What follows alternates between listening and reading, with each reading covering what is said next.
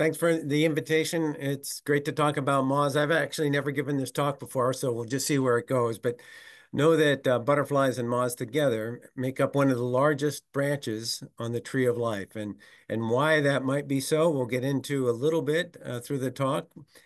Um, certainly, uh, moths account for much of how the world works. And uh, you'll see or get appreciation for their ecosystem functions and their ecosystem services as, as we go through the talk. But uh, in terms of their biomass or the number of species, um, their abundance, they're truly an important part of how the world works and how uh, nature provides all these wonderful services for humanity and um, the other creatures, the, the 10 million other creatures that, that share our planet. Um, one of the great things about moths is uh, they represent a tremendous universe, at least galaxy for discovery. And so we know quite a bit about butterflies uh, relative to moths. And, and I hope uh, at least one of the, the core take-home messages today is how much you can do just in your backyard, uh, looking at, at moths, photographing moths, and maybe working with uh, insect or moth butterfly life history work. Uh, and there's so many things that we don't know about their habits and their behavior and their crucial food plants and what have you. So let's see if we can advance. I, am going to start off a little bit um, about uh, phylogeny and where butterflies came from. And, and so one of the, maybe I'll just dispel this question that I get very frequently, and that is, uh, what what's the difference between a butterfly and a moth? And that's a very hard question, and uh, you'll see why in a second. But butterflies are moths, and moths are butterflies. And uh, so this is a molecular phylogeny that was recently published for the butterflies and moths. And there, this is this le, uh, order Lepidoptera, and it's uh, tremendously successful and diverse. Um, so again, we're talking about this large branch on the tree of life uh, with uh, perhaps um, maybe 300,000 species. There's 160,000 named, um, but um, we'll get to the diversity in a minute. But uh, this is where the butterflies come out. They actually come out uh, right in the middle of the Microlepidoptera. So the, these little tiny moths that fly up out of the lawn, or maybe you see sometimes in the house. Um, but but anyway, the smaller moths are um, are are where the roots of the butterflies lie. And we can we can go to the next slide. And so this is just the branch of the butterflies in that previous tree uh, coming out. And, and so really, you can see from that bigger tree that moths are just a diurnal branch of moths. And um, they're particularly popular and beautiful, but they're a diurnal branch of, of day-flying moths. And there must have been about one or 200 different times that, that moths have switched from being primarily nocturnal to being essentially nocturnal. But that's happened over and over again. Uh, I mean, uh, from being nocturnal to diurnal and vice versa. So it's it's happened many, many um, dozens, if not hundreds of times across the, the lineage. But if we look just at the butterflies here, uh, the, this group here, the Macrosoma, uh, they are the moths down here. And so they, these are moths. Uh, they come to light. They're, they look, you know, essentially, but they've evolved within the butterflies. And so um, butterflies are deeply nested within the, these microlep microlepidopteran moths. And we're still, we have these hedylid moths, the ones to the left, are nested uh, within the butterflies and they're sister to the skipper butterflies. And so um, even the true butterflies, which we consider like swallowtails and pierids and, and um, nymphalids that we see in our gardens have moths nested in them. So um, asking an entomologist or lepidopterist uh, what's the difference between a butterfly and a moth is a very hard question since uh, butterflies is really a, quite an artificial term and you'd have to make a list of of all the things you wanted to have um, be a butterfly uh, to describe what a butterfly is. So uh, anyway, uh, their roots go back uh, probably into the time of dinosaurs, at least the at least as deep as the last third of the uh, age of dinosaurs back in the Cretaceous, and, and perhaps even older. This is a little excerpt from uh, my book on moths that's coming out in January, but basically talking about the diversity uh, of moths. And so there's about 160,000 described species.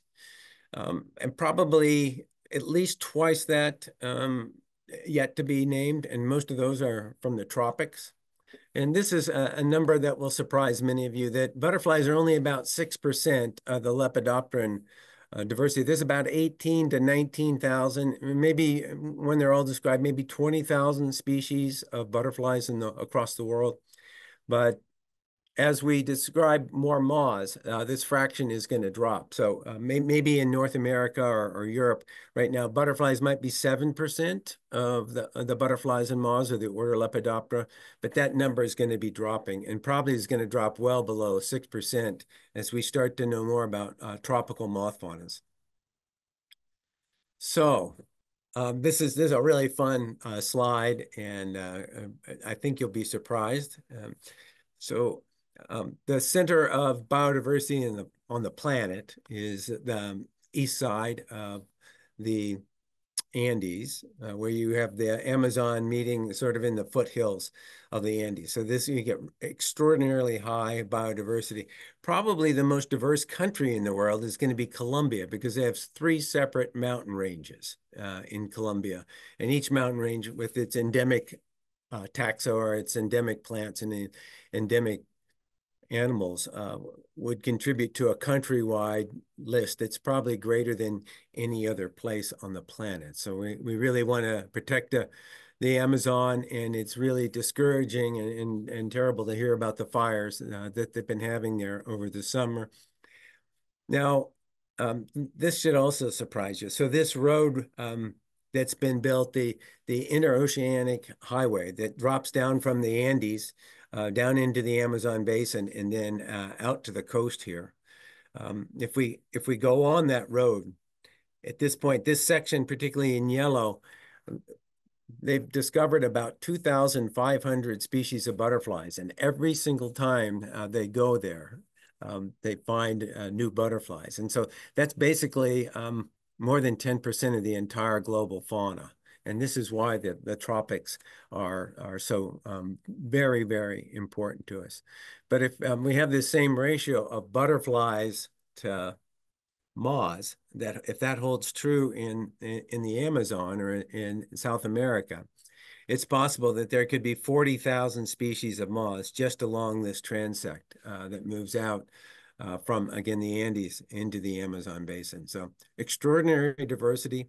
And so uh, I hope I've underscored how important um, butterflies and moths are to the tree of life and how the world functions and, you know, um, how many birds there are and uh, the diversity of birds and reptiles, amphibians, and all these other insectivores that share our planet.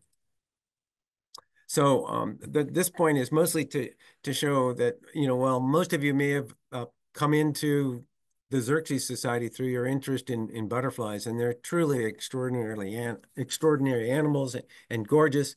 Uh, they enrich our journey on this planet and um, are, are, are really uplifting and good ambassadors for getting uh, people, other people, interested in nature, uh, getting them outdoors, and um, being you know, more appreciative of the little things that run the world and, and maybe doing a better job of being at ambassadors, uh, taking care of nature, maybe voting differently in elections and, and those sorts of things. But this slide is really just about uh, biomass. And so uh, butterflies attract a lot of attention.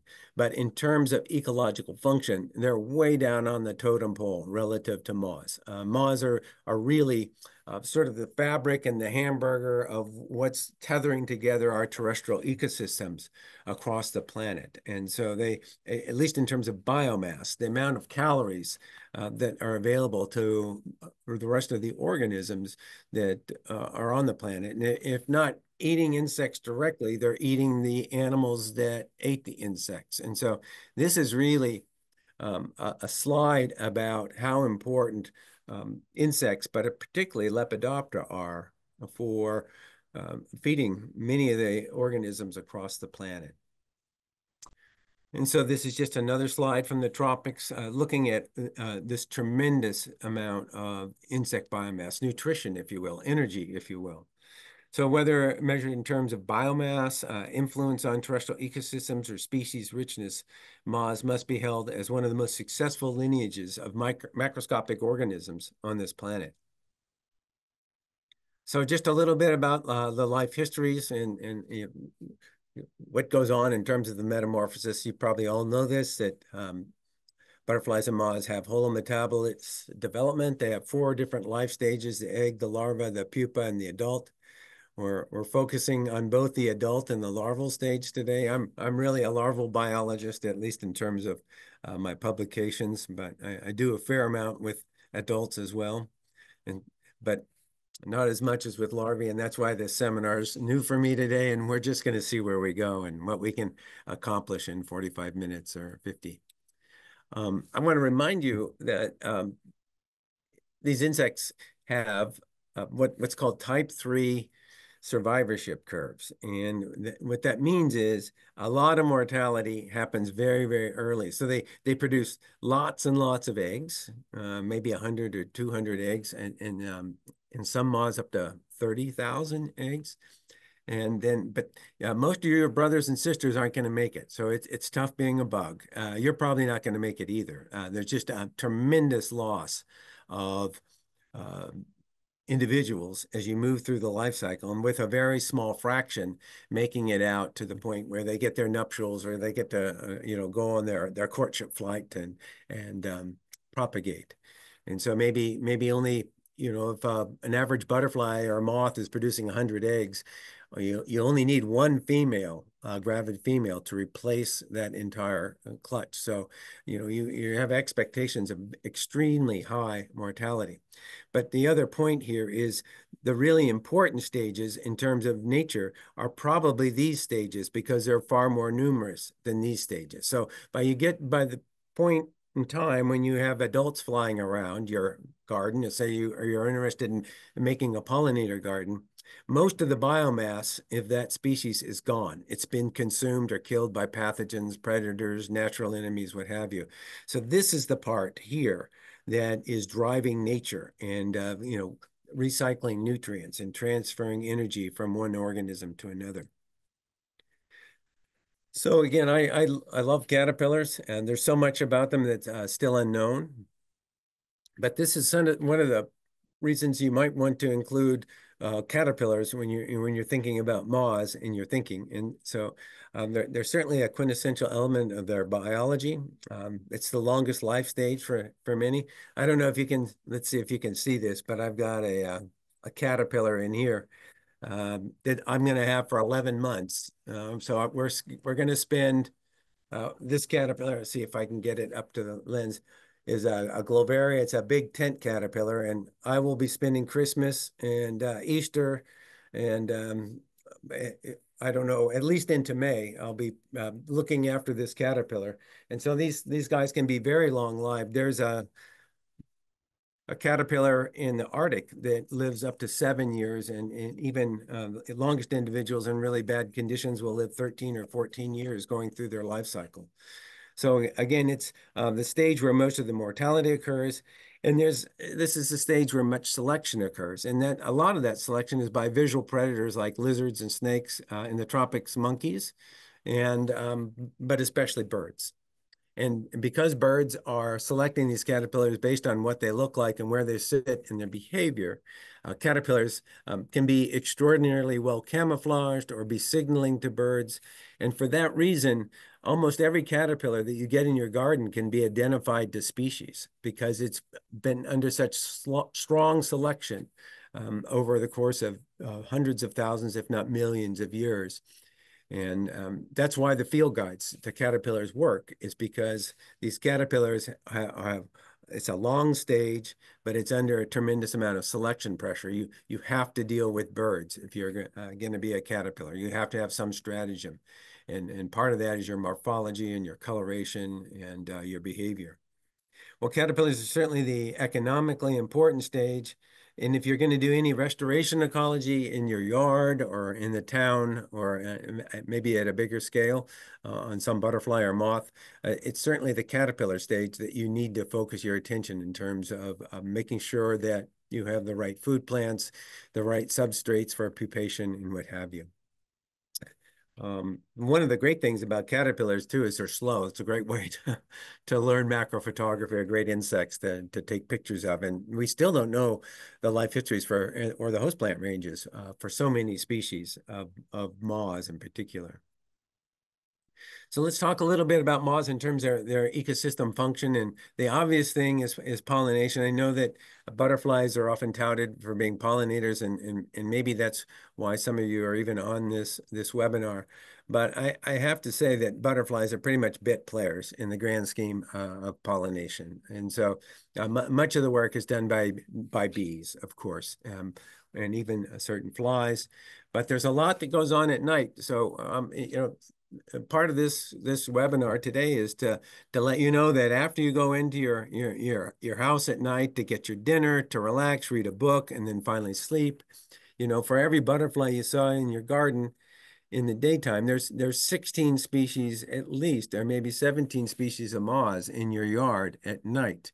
And so uh, most of the action uh, in, in terms of ecosystem function and energy transfer is happening after you've gone indoors and that there's so much yet to learn about um, what's happening you know when this herbivory is happening uh, and you know when when some of the predation is happening and um, and who the actors are and who are the important ones and all of that. So uh, yeah a lot of insect plant interactions are happening after dark. And and so one of the things that uh, you can see here is that moth pollinated uh, moth pollinated flowers are often white. There's a whole syndrome here that I, I could probably talk about, but uh, moth pollinated flowers um, oftentimes produce most of their nectar late in the afternoon or evening, rather than they they withhold it uh, from bees. And remember, by having a dedicated pollinator, you get fidelity in your pollen transfer, right? So uh, flowers have to be pollinated by the same species, a different individual. And, and the moths uh, basically at night are the surrogate sexual organs that are transferring the gametes from one plant uh, to another individual. And so they, they do a, a lot of this function. And uh, rather than try to produce pollen for everybody, uh, many plants have very directed, specialized associations between the say the pollinator in this case we'll be talking mostly about moths and the species of flowers. So you don't have to make nectar for everybody. You don't have to make pollen for everyone. And there's again fidelity in the system. Um, and and so this is a, a, a, widespread and very important theme in nature. Um, moths are, are very uh, they're underappreciated. And, and so um, in north america there's probably not that many obligate moth pollinated plants. But as soon as we move into the tropics, there's a lot, uh, particularly in places in, in, in the tropics. Many plants are widespread. So, um, you know, you, you're an individual of one species. It might be 100 meters to get another individual of that same species. It's so different from being in the temperate zone where if you see an oak and you're walking, the next tree you, you're going to see is probably another oak. Um, or if you're along a riparian area, if you see a, a salix tree or a, a willow tree, you're probably going to run into another one in the next 15 seconds. And so, but in the tropics, uh, plants are hyper dispersed. Uh, oftentimes they're not next to one another because uh, there's so many natural enemies and um, uh, so perils of being close together and forming large stands. And so they need smart, large pollinators to carry the pollen um, 100 meters away and be able to remember where the various uh, individuals in a forest are. And there's where moths uh, can play a very important role. And, and so maybe even, I don't know, 7% of the trees in tropical forests are going to be pollinated by these sphingid moths, these really strong flying moths. And this really famous example of, of Darwin, he, that's the comet orchid in the middle has that 11 or 12 inch long nectary. And so um, the nectar the reward is down here. So the moth has to insert its tongue and get all the way to the bottom of this. And that then would position the moth's thorax or um, uh, perhaps the top of the head in the orchid throat where the pollinia will be deposited on the animal's body. And then when it visits the next the next nectar spur from a, a different orchid, uh, that pollen would be transferred and affect fertilization.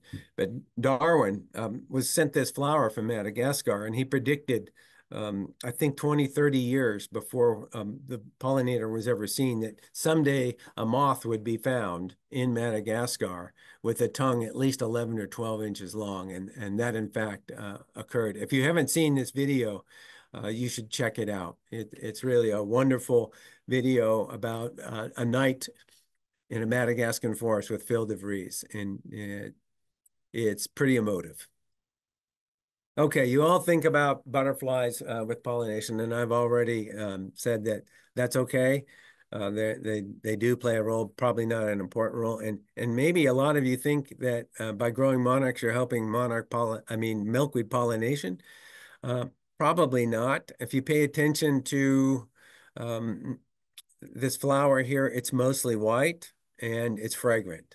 And those are two traits of moth pollinated flowers. So you might get a monarch coming by, but they're bit players again, uh, not necessary at all for milkweed pollination. Um, this is that you know, same flower, a milkweed flower at night, and it's um, sizzling uh, with moth activity. Um, and, and again, there's 15 species of moths or 17 species of moths for, for every butterfly that you see in your garden during the daytime. So uh, moths are really playing an important role here.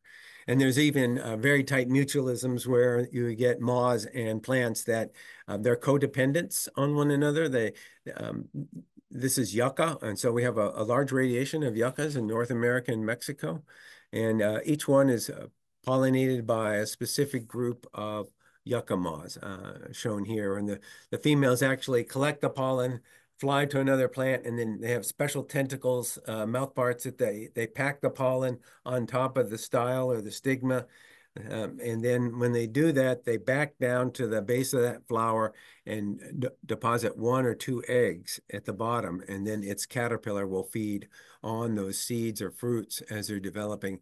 And we're finding uh, many of these other nursery systems where essentially the species of moth that pollinates also lays eggs in that flower and is able to exploit the flower. And so it's uh, can't live with it, can't live without it. It's one of those situations. Um, but in all these cases where they've evolved together, the caterpillars, the herbivores, don't eat all of the seeds. And uh, you can see that this can be tremendously valuable. This is a nursery pollination system that's very unstudied. Any of you who live in, in Western North America, and particularly the old world, and in the Northern Hemisphere, could look at the pollination system in Silene and the genus Hadena. We know very, very, there's over 700 species of Silene and 125 species of moths, and we don't know very much about it at all uh, maybe just uh, a handful of the 700 species of Silene, and um, again, uh, just just three or four of the moths. So there's so much uh, out there waiting still to be discovered, and, and, and probably for many of you within five miles of your house. So uh, this is one of my favorite slides and one of my favorite things, and, and that is the the idea that because of my moths, uh, all all the human existence is enhanced. And uh, let me let me just share. This is text from uh, one of my caterpillar books, but uh, I'll just read it. Um, most po uh, moth pollinated flowers bloom at night, are predictably white flowered, upregulate their pollen production in late afternoon or early evening, and present their anthers so as to favor cross pollination after nightfall. Nearly all characteristically produce sweet scents. Indeed, some of the most pleasant fragrances on our planet are moth scents, and that have come to play in human courtship and our way of life in no small way. The wonderful aromas of carnations, gardenias, honeysuckle, lilacs, narcissus, and the queen of all, jasmine, which perennially sees use in our perfumes, cosmetics, bouquets, corsages, and first and foremost, um, these are these compounds um, are volatile moth attractors manufactured by plants to encourage pollen transfer and ensure the completion of their courtships. And so in, in, a, in a forest at night, uh, color is not going to work very well. So um, what plants do is produce volatile compounds that can attract pollinators from afar. And now we've co-opted things like jasmine. Um, pro probably uh, many of our uh, cosmetic project uh, products and perfumes are, you know, have some element or some proportion of jasmine. And, and so uh, you could you could even argue that uh, some of our dates are a little bit more pleasurable because of moth pollination and this interaction between insects and plants. And so that's just a fun fact of life uh, that I that I like to share. So, so these moths and butterflies are really important in terms of terrestrial food webs. And again, uh, butterflies are just bit players. Uh, they could almost all go and wouldn't affect um, many food webs. They, they tend to be scarce in ecosystems and uh, rel relatively low numbers, at least in terms of caterpillars, uh, especially relative to moths. Yeah, you make baby birds with, with, you know, with moth caterpillars, but we'll get to that in a second. But this is just one slide to show you or, give you a feel or a sense for how important uh, moths can be and how the world works. So uh, there's one bridge, uh, the Congress Avenue Bridge in, in Austin, Texas, um, with you know over a million bats, uh, Mexican free-tailed bats. They estimate at least when these uh, these bats are nursing, and, and, they have their little pups, that they're uh, removing about 10,000 to 20,000 pounds of insects a night um, in order to, uh, to feed, feed and raise their young. And so most of these insects are, are moths. And uh, some of the estimates go up to 30,000 pounds of, of insect life per, uh, per night, which is just amazing. And it's not just these foxes and skunks and possums and little animals and mice that are eating uh, these these moths. Um, it's oftentimes uh, much larger animals. This is a grizzly bear uh, foraging for army cutworms, uh, adults. So the adults fly out of the grasslands in, in the spring that are drying up. They estivate under rocks and scree uh, uh, um, high up in mountains. This is Yellowstone. And uh, the bears are getting, at least the grizzly bears in Yellowstone, get about a third of their calories uh, from, from eating these moths by flipping rocks and eating thousands per day. And so uh, moths, again, are um, truly quite important in how the world works. Now, um, this is a quote from my my book that's coming out in January. Across the planet, many terrestrial ecosystems, but especially in forests, woodlands, shrublands, caterpillars transfer more nutrients and energy to other organisms than any other animals. So this is really important, right? So um, insect uh, caterpillars are the largest biomass. If you go out into the woods, uh, into a shrubland, and you take a sheet uh, or you canopy fog, and you um, bang all the insect life or all the animal life in particular off of shrubs, most of that biomass, most of what you see, most of the food for insectivores is going to be caterpillars. And so we just spoke about the importance of moths to ecosystem function, but now we're going to switch over to caterpillars, which uh, again, because of that uh, survivorship curve and the fact that there's far more eggs than there are larvae and far more larvae than there are pupae and far more pupae than there are adults, it's actually the caterpillars that are the hamburger that makes uh, many of the um, many of the communities and ecosystems on our planet work. And so um, they think that maybe 95% or more, I've heard 96% of birds include some insects in their diet. And so um, even birds that you think of as granivores, the ones that are coming to your bird feeder all winter long, that's fine. They're granivores all winter long when they're at your bird feeder. But when they're nesting and they got to make baby birds, and these are some of the fastest growing bones on the planet, they switch to insects. You, you just can't make baby birds without uh, having um, a protein source. And that protein source is usually dominated by soft-bodied insects. Uh, think caterpillars. Uh, that's that's the major one. But spiders, in addition, are very important, uh, particularly to songbirds and smaller birds. So how many caterpillars does it take to make a nest of chickadees? Um, um, well, um, I don't know if you've seen one of Doug Tallamy's talks. They're they're fabulous, and don't don't miss them if you have an opportunity to hear Doug speak. But um, he sent me this slide um, to to rear one clutch of chickadees. It, it can take 6,000 to 9,000 caterpillars. So again, sort of just underscoring how important moths are, but especially their caterpillars to, to how, you know, how we think about the world. And again, um, we don't have to talk about just the animals that are eating the moths or just the animals that are eating the caterpillars because there's all the other animals that eat those insectivores. In, in other words, if you, it's it's kind of like the this base of a, a trophic pyramid. So if you remove these insects, um, the top is going to collapse. And so we'll be losing, if caterpillars were to go away, we would start losing predatory birds. Um, and so you can think about it in that way. We're already starting to see bird losses, bird declines tied to insect declines. Um, so we've already talked about there may be about 300,000 species of, of Lepidoptera. I think there's probably more, um, and we've only described about 160,000. But I want to uh, sort of uh, bring home a different point, and this will be really fun. Uh, I like to talk about this. Um, the, the some weight of their impacts as as herbivores uh, across years, and they shape the very essence of what a plant is: its size, its anatomy, its reproductive strategies, uh, what it tastes like, in all aspects of its defense strategies. You know, when th when things get rough for us, we can hop on our horse and ride out of town. Uh, that's not the that's not the case for for you know plants. They have to they have to stand and deliver. And um, because of that, they have to have defenses uh, that protect them from large herbivores and small herbivores. And um, because caterpillars are so important in terms of, of transferring energy and nutrients, and because they're the greatest biomass in our forest, and at least in terms of where there's woody plants, uh, much of what a, a plant tastes like, or much of its chemistry, has got to be to discourage herbivory from various potential enemies or uh, caterpillars in, in essence and grasshoppers and the like. And so those secondary co plant compounds are these compounds manufactured by plants for defense have really enriched our lives. And I, will just give you a flavor for those, but um, I mean, really important. So this is an indirect benefit to humanity, to you.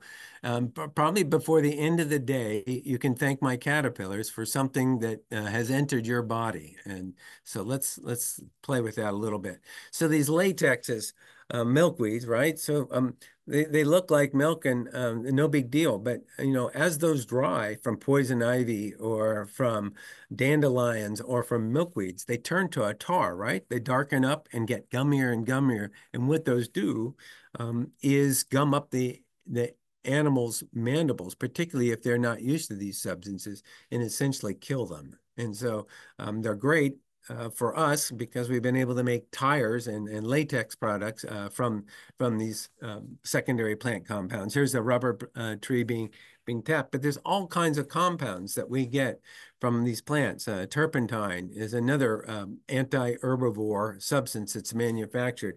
Many of our pharmaceuticals um, are these anti-herbivory substances that are being produced by plants. And so um, maybe maybe more than 10% of our, our pharmaceuticals and medicines are coming from these plants that are essentially uh, anti herbivory compounds. And here are some uh, maybe recreational chemicals you could think of in terms of uh, secondary plant compounds that have affected, you know, our way of being and our culture. Um, and we've already mentioned the fact that uh, there are some of these fragrances that are used in our boutonnieres and what have you, in our perfumes. Um, again, um, so um, another example of, of how these compounds are, that, that are manufactured by plants have affected our way of life. And this is my favorite. Um, this is the idea that um, nearly all of our spices that we cook with are anti-herbivory substances. And so our foods would be so much more bland, especially I think of um, how wonderful some of the ethnic foods are around the planet. And that's all about secondary plant compounds. That's all about caterpillars. And if you're still not convinced, um, all those tannins in red wines are uh, there as anti-herbivory uh, compounds. They cross-link proteins. So in, in, woody plants, nearly all of them have tannins.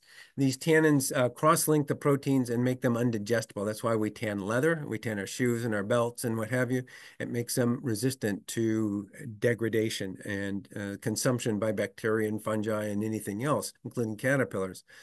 So um, maybe uh, for those of you that do drink red wine, the next time you pour yourself a glass, I think you should raise the glass up high and uh, make a toast to some of these uh, little things that run the world and, uh, you know, be thankful for the caterpillars that have um, triggered the the evolution and the manufacture of, of some of these compounds that have found um, very important uses in our, our daily lives.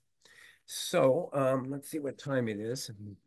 I haven't given this seminar before, so um, okay, maybe we're in a good place. I, I'm, I'm not quite sure.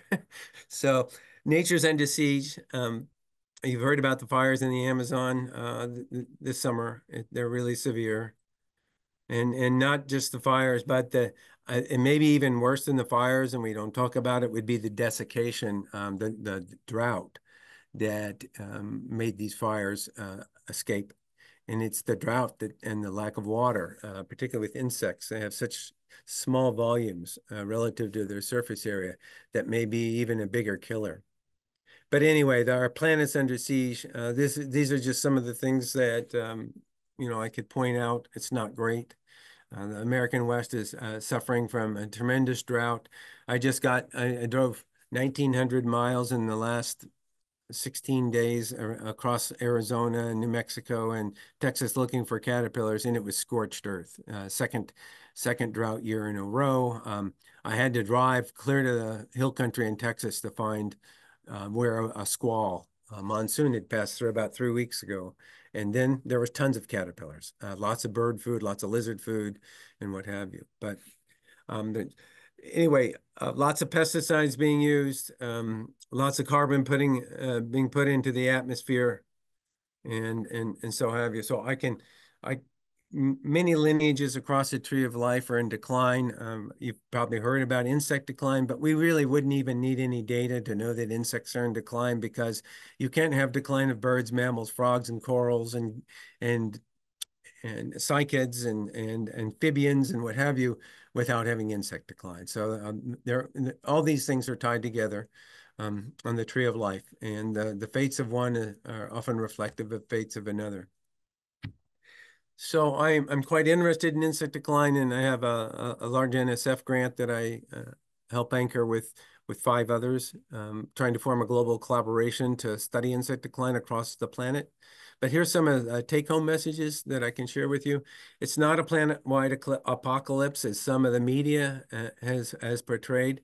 Um, there are places that we still have stable and we have increasing um, insect populations where they have very little anthropogenic activity, and especially areas where um, the water hydrology has stayed the same, and we're not in a situation where we're losing our, our water, like around uh, the horse latitudes at, at 30 degrees. Uh, that's where a lot of the uh, drought is happening across the planet uh, presently.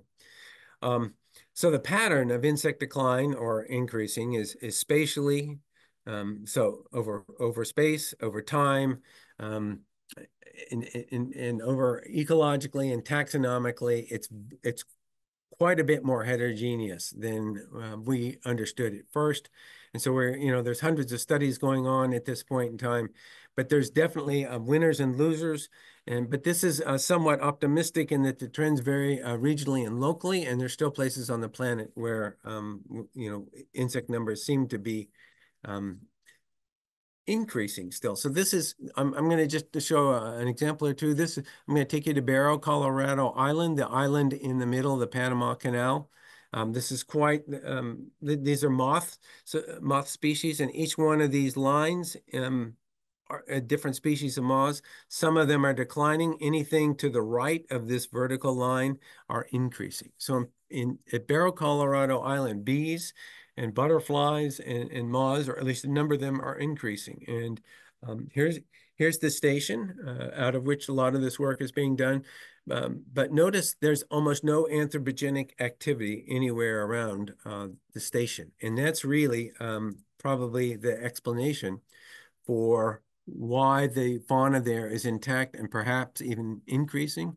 And this is one of the places in the world where rainfall is actually increasing as a result of climate change.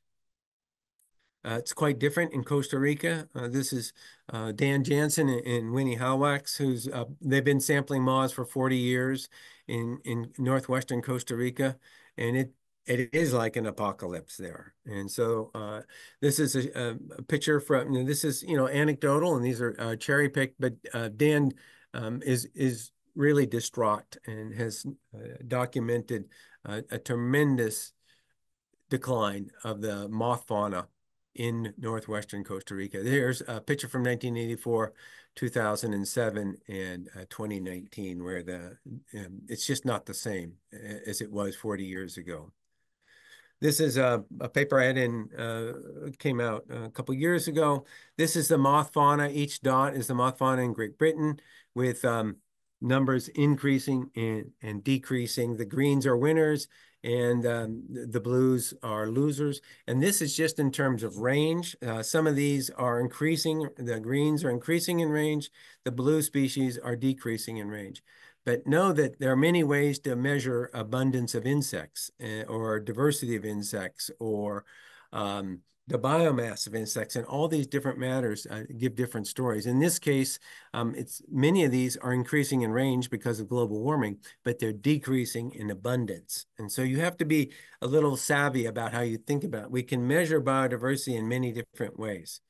Um, and and These are one way to, to measure. I could measure biomass or abundance or species richness, but I want to make a, um, a, a, a plug that it's actually the species that matter to me. And, and it's not that just there's a lot of insects and it's not just that there's a lot of biomass to make baby birds. I care about the individual species and that's often missed in this conversation. So I think it's it's very, very important um, to, to look at this caveat at the, the bottom that um, they don't address, um, these studies often don't directly address what's happening to individual species. And as a systematist, a taxonomist, um, uh, someone who really loves nature, and I want to give a planet back to my kids that uh, is equivalent to the one that I was born into. And so um, I, I really, I don't care I mean, I care about biomass and I care about abundance, but I want these species that are unique uh, to be specialized. They've been in this same struggle for existence and and shared my journey. I want them to be around, and so I want to know whether or not that biomass has this species in it or has this this species in it and this species. I care about all of these individual uh, creatures, and they they're certainly gorgeous and they enrich our our our world and absolutely necessary for all the creatures that are dependent upon them. And so um, I'm going to uh, try to get to the end here um, so that uh, we have time for questions. But uh, just a few more um, uh, bits of fact. A lot of these insects are decreasing at about a 1 to 2% decline. Higher rates of decline are, are being seen. There's no obvious single cause, and that's probably because multiple stressors are often acting on the fauna at any given site. So um, there's uh, probably a dozen really important stressors on insects right now in terms of pollution, climate change, habitat loss, um, nitrogen fertilization, and, and what have you. And so at any one spot, you have uh, really high um, anthropogenic stressors that um, cause different groups to decline, other groups to increase. I'm going to just skip through these. These annual rates, um, even 1% is really serious, and we should uh, try to change our behaviors uh, to, to, to slow declines, uh, far below what they're seeing in Europe. Uh, these really high rates are in Europe, but even a 1% decline. So here, you can't see a 1% decline in, in, until you've lived on this planet about 40 years and been watching insects. 1%, because of the boom and bust and, and the, the cyclical nature of insect population trends, it's really hard to see well, 1% decline. But I can tell you that even after 40 years at 1%, you've gone from, let's say, uh, 10,000 leaves on the tree of life down to about 7,000 and at these 2% rates, you basically half the tree of life in terms of individuals could be gone in, in 40 years. So we really are in a, a biodiversity crisis, just like E.O. Wilson told us many years ago. And here's all these different threats uh, that um, are acting on the insect diversity. Um, with any any one place on the planet, uh, perhaps suffering from three or, or more of, of these these uh, different stressors on populations. So let's let's focus now maybe um, just on some positive things and solutions. Uh, but the fact that there's all this heterogeneity is really promising to me. And, and that means there's not anything like electromagnetic radiation or cell towers or CO2 concentrations that are uniform across the planet that, that's causing decline. Uh, the, the variabilities in direction and rates uh, mean, tell us that we can manage and restore reserves, parks, and towns. And so uh, we've had some really tremendous success stories. Uh, this is the Regal Fritillary in a, you know, uh, around this, this preserve in uh, Illinois and Indiana. I'm not sure. I think it might be Indiana. Um, it's just a, a sea of corn and soybean and some of that genetically modified but they've restored some of the tall grass prairie there with buffalo and prairie chicken. And uh, a byproduct of that is that the regal fritillary, which has been declining, uh, you know, range wide, is just thriving there uh, today, and it's just a wonderful story. And I don't know if you you caught this uh, a word of this, but this is the the Karner Blue recovery in uh, Albany Pine Bush, where they've been doing burning and restoring habitat. So we we can still um, uh, work on behalf of nature and on behalf of insects. And if we restore habitat um, at a small level in our yard and at a bigger level in our communities and um, you know, regional areas, we can make a, a pretty important difference. Um, there's been a surge in pollinator protection, um, a lot, millions of dollars, a, a multi-million dollars uh, every year now to support pollinators. Um, and this has become a, a worldwide emphasis uh, for, for conservation and land protection. iNaturalist is exploding. And so um, uh, a phenomenal number of people that were never interested in insects before are being drawn in by uh, iNaturalist. And so uh, most of the big data on the planet for uh, following what's happening uh, to some ecosystems and reserves around the planet is now drawing from uh, community scientists, uh, backyard biologists, weekend biologists that are making these iNat posts. Let's see, I'm not advancing and I don't know why. The Xerces Society is wonderful. I mean, what it's, you know, I hope you're all members. Um, you, you certainly want to be uh, uh supporting NGOs, but um, these are some of their um, successes over the last few years. And it's, it's truly um, been growing. Uh, I, I don't know if I, certainly geometrically. I don't know about exponentially, but maybe exponentially along some some axes. Um, and then lastly, uh, things you can do to promote uh, conservation of uh, particularly invertebrates, um, moths in particular perhaps, but certainly change people's perceptions by becoming an educator or an ambassador. That's really important that we get more people on the side of insects and, and thinking about these little things.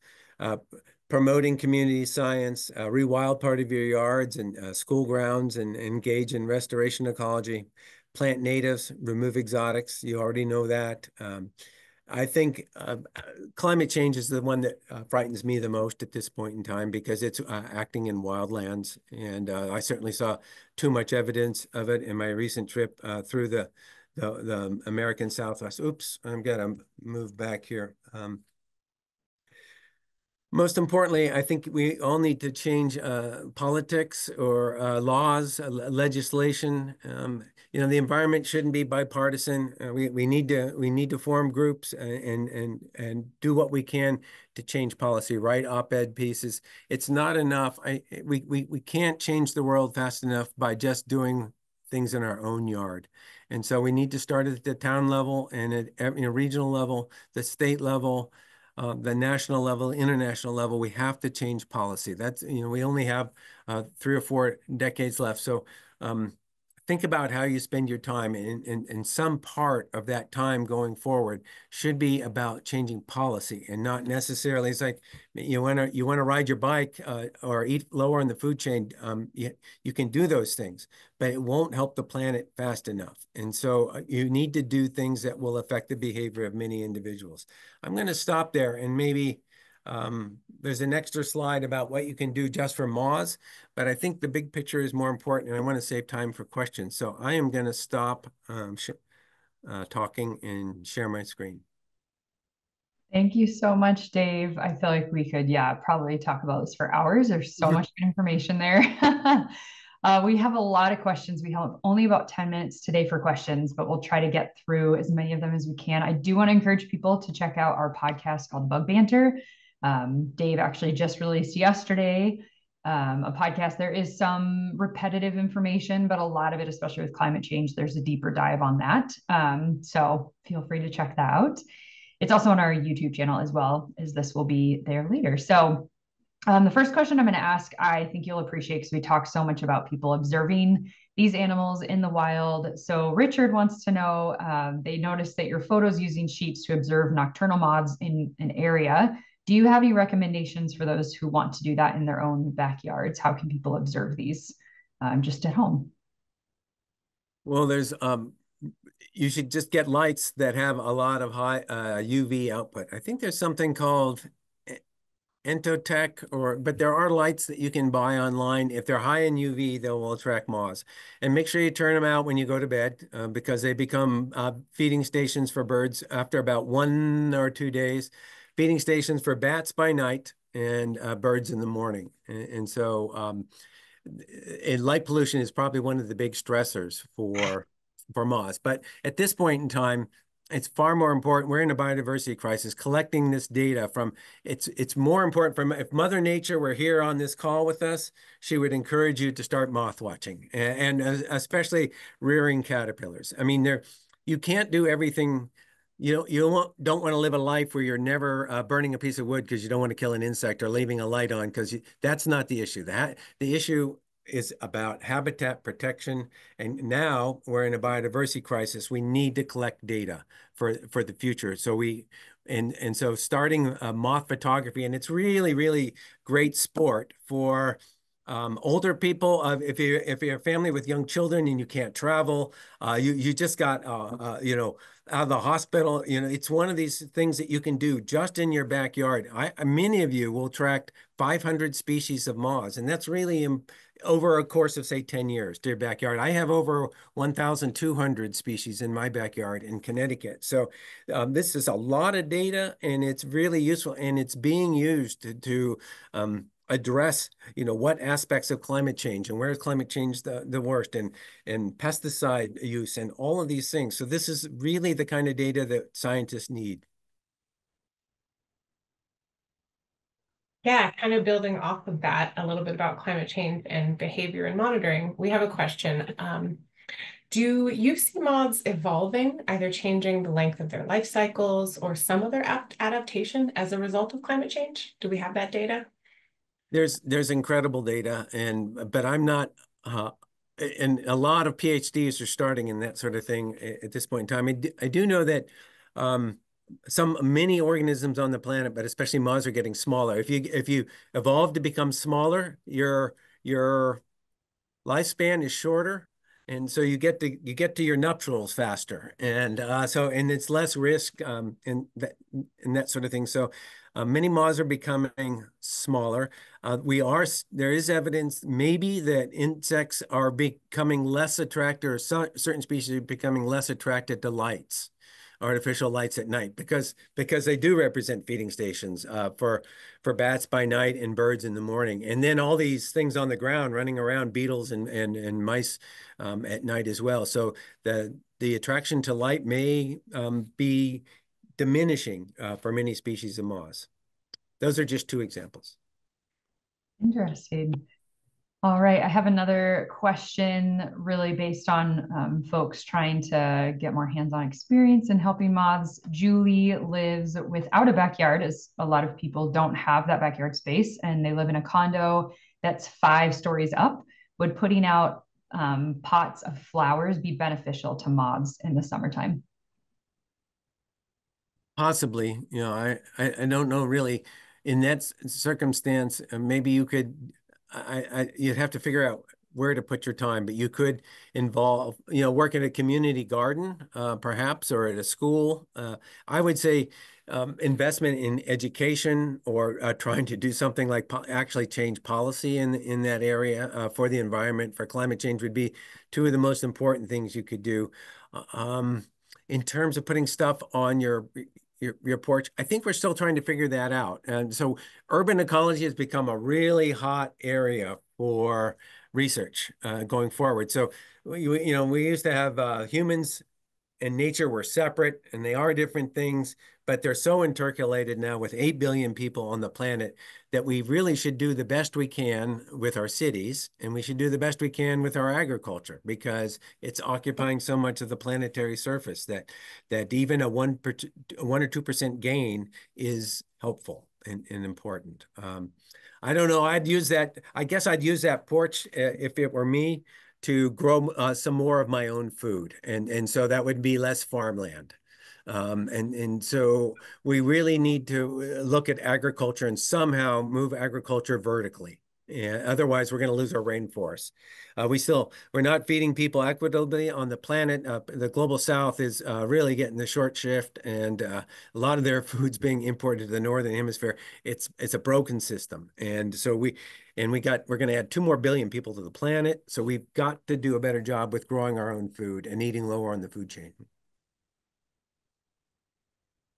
All right, thanks for that. Yeah, um, kind of similarly um, about what plants or habitats that we as individuals or community members um, can include in our yards or neighborhoods, specifically related to daytime, where moths spend the day and um, place habitats that's kind of refuge for them. Well, I would I would think that some leaf, like a lot of people like to rake up all the leaves in their yard. I would I would think that that would provide a tremendous amount of enemy-free space and also moisture for a lot of uh, just rewilding a tiny bit of your yard, whatever that entails, is a good idea. What you plant really, really matters, um, and so that's Doug Tallamy's uh, wheelhouse. You, like oaks are by far the most magical plant that you can plant in, in, in any yard. So Doug and I have a paper coming out that uh, suggests that over uh, 1,000 species of North American uh, butterflies and moths feed on oaks alone. So it is uh, absolutely a keystone entity um, in, in terms of supporting caterpillars, which then supports bird life, right? So, uh, and so we want caterpillars in our yard, uh, and we want them to be eaten. So, uh, or at least a fraction of them, so they can support uh, the wildlife in in our community and um, maintain balance.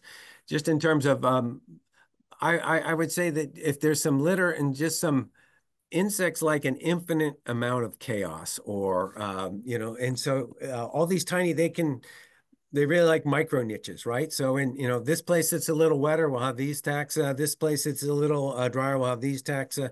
Uh, this place it doesn't freeze because it's close to the house, we'll have different taxa. So uh, just don't don't simplify your environment too much. I guess that would be the way. I mean, there's so many species of moths that if you just provide some diversity, uh, there'll be different niches and you'll different yards will have different species. Great. Well, we have time for one more question. And I selfishly want to ask this because I live in Montana and we've had a really bad fire season as it sort of is the norm, um, as are a lot of states impacted by air quality. And I've never gotten this question on any of the webinars we've ever had. And it's a, it's a good question. Um, Sandra's wondering, are moths and butterflies affected by air quality days? If there's been any research on that. Mm, I, I don't think air quality is there um, is, is really important for for butterflies and moths. A lot of them will flee, um, and but there's beetles that go the other direction and woodpeckers that go the other direction. They they like fire and they they'll fly right in and they'll lay on the uh, the damaged trees and eat the wood that no that the trees can no longer defend themselves. And so, uh, lots of wood boring beetles actually have sensors on the top, uh, infrared sensors on their head, and they will fly um, towards a fire. And then there's woodpecker. I think the black-headed woodpecker in particular likes those beetles. So it's a complicated world. I would say that um, you know those pollutants are are not good, but they're not the big. They don't they don't wouldn't make the first twelve or the first twenty stressors. I can well, stay on for a, couple more minutes, and then I've got to I've got to run. So okay, perfect. I'll hand it off to Amber then to ask the next question. We appreciate it. Okay. Yeah, I had this one uh, pegged as my last question was if you could speak a little bit about um, maybe the dichotomy between um, conserving moths while simultaneously juggling, some people consider them pests, but they're also pollinators, whether we're growing our own food in our own backyards or our communities. It's a little bit of a complicated relationship there. How can you, can you speak to that, please? Well, of course it's complicated. Mm. And um, I, I guess less than less than half a percent are really going to be pests. And so most Lepidoptera, most moths are really going to be necessary. And let, let me um, maybe use one microcosm. So we have thought of uh, forest pests. So what we call a pest is something that we're doing that we don't like. But what if that's a good thing? So uh, here's the example. So we have all these Forest Service um, spraying pesticides to, to, eliminate spruce budworm and uh, to eliminate gypsy moth, which is introduced. So I might support that. But there are native native forests that have pests that spike, kill a lot of trees, and so we use a lot of pesticides to kill them. But I, I think we're finding evidence that those boom and bust and those things that we call pests are really, really important to how nutrients and energy cycled for thousands or tens of thousands or millions of years. And, and so we're finding, at least in Hubbard Brook uh, Experimental Forest, warblers generally go downhill and they don't replace themselves in most years because there's not enough food. The years that there's a pest outbreak, they have tremendous nestling success and sometimes actually get a second a clutch in because of the abundance of caterpillars. And so that's what's maintaining these warbler populations. You had to have the outbreaks, and we call them pests, but but that's the way nature is, and that's the way you know it's it's not all good. And and um, I, I think we we need to completely rethink our paradigms with things like this. That that these pest outbreaks can be in, like cicadas.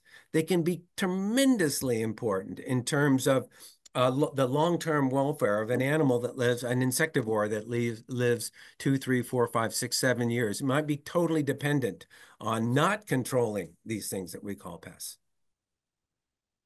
Hmm. Thank you for that perspective. Do you have time for one more? Yeah, sure. Okay. this is one from Scott. Um, and I like this one because I like evolutionary biology. But why are moths nocturnal? Nocturnal. Do we know why? Is it driven by plants and when they release pollen or nectar? What's the benefit of being nocturnal versus being a day active moth or butterfly? Well, there's a huge advantage in that you're not uh, predated by birds. So no vision. So the visual predators uh, can't get you. And so I think that that's the by far the the driving force. And and we don't have to overthink it. We don't have to think it farther than that. The problem is these freaking bats uh, evolved to thwart them. There's a whole arms race going on, and it's absolutely fantastic. It's it's why that one webinar is not enough for uh, to talk about moths. I could. It's amazing what's going on between the um, the arms race between bats and moths, but basically almost all the biomass that's up in the sky, that's really important, has evolved a bat detector of some sort. They've got some sort of ultrasound detector. And if you don't have one of those, you're not a player up there. And so, or yeah, they have like these moths with the long tails, the Luna moth and these uh, the giant comet moths and stuff like that. Those are uh, producing a lot of noise to, uh, to, the bat, and so the bat will uh, strike at the tails instead of at the body of the of the moth. And so there's even um, ruffles in some of the wings, and they think that that's causing um, different echoes, uh, signals coming back at different times and confusing the bat. It's not like a single solid surface, and so there's all these kinds of things going on. Uh, moths are hairy, right? We all, you know, they're the hairiest insects. I always thought that that was cute. Um, I had no idea the whole reason was to absorb the bat sonar. So, so that, that's why moths are fuzzy. So th there's a, just a tremendous amount uh, going on, and there are advantages at night. The another one that I can think of is uh, humidity. Temperatures are lower, and uh, humidities are higher at night, uh, which makes uh, migration and dispersal less costly. Yeah, that makes sense we're kind of queuing off you, Dave, for for time wise. Well, if you have one more, I'll do one more question, then I'm going to run out. So. Uh. Right. All right. One Amber. yeah. Last one. You did mention iNaturalist already, but yeah. um, we have we have some folks interested in where they can find out more about um, different studies that they that are conducted, ones they can participate um, you also just mentioned observing in your own backyard, but if you could speak to speak to that a little bit more and provide any other suggestions for folks to get involved with studies. Okay. Well, um, at this point, um, I, I forgot to do this, but I'll, I will make a plug for my moth book because it has a lot of these kinds of suggestions in it. It has specific solutions for moth conservation and um, a, a little bit about iNat and a little bit about moth photography and a little about uh, caterpillar rearing. So it, it's actually got an 80 page introduction that, covers a, a lot of this uh, kind of information, probably a lot of questions that are in the chat. It's really meant for those kind of people who don't have a community yet. And, and let me just say about iNat, um, it is not, this is really going to be surprising because it's the single most important source of big data on invertebrates for the planet right now. And it's going to be only multiplying and accelerating at a faster rate.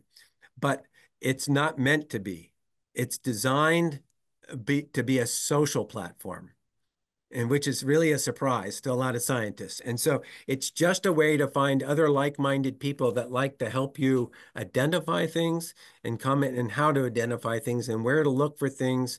And and and it's just getting a whole new uh, army of people, you know, lawyers and uh, uh, you know athletes and people who aren't normally attracted to, to, to nature um, are are using iNat because it's and then the artificial intelligence that comes with it is getting very very good. Um, and and so it's a, a, very exciting platform to use and um, uh, getting getting and and then all of that data is shared um, on a daily basis with uh, global uh, biodiversity information you know, facilities. And so it's um, it's important in that way. I don't know if I really answered your question, but I'll just say that uh, just taking pictures in your backyard is important and rearing caterpillars and learning photog macro photography. But uh, with cameras, some of the new uh, cell phone cameras can, can do macro photography quite well, even with tiny caterpillars.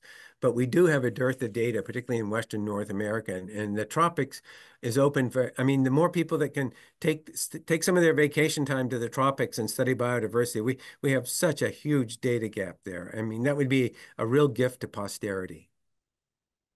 Thank you, Dave. Okay, you... I'm going to run. Um, thanks, you guys. Thank you so much, Dave. Okay, okay. Bye now. Yeah, thank you. Thank you, everybody.